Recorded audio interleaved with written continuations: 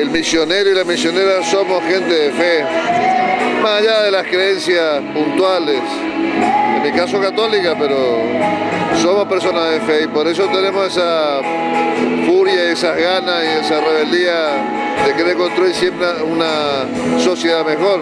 Además Loreto es un centro producto de los jesuitas y de tantas cosas que han pasado aquí, un centro realmente de, espiritualidad. Viene acá como feligrés a, contribuir, a estar, a, nutrirse y aprender. Y esto de que se vaya instalando una celebración popular al mismo nivel que Itatí, bueno, eh, eso es maravilloso porque hace a, nuestra, a nuestras tradiciones más profundas, a las tradiciones básicamente cristianas que son las fundantes del, del ser misionero.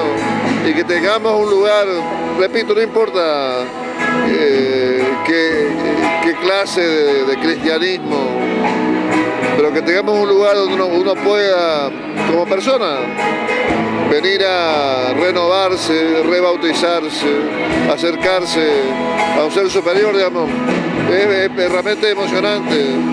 Y se va instalando año a año, cada vez más gente, este año está por empezar y todavía hay una cola inmensa de gente para entrar, así que muy contento.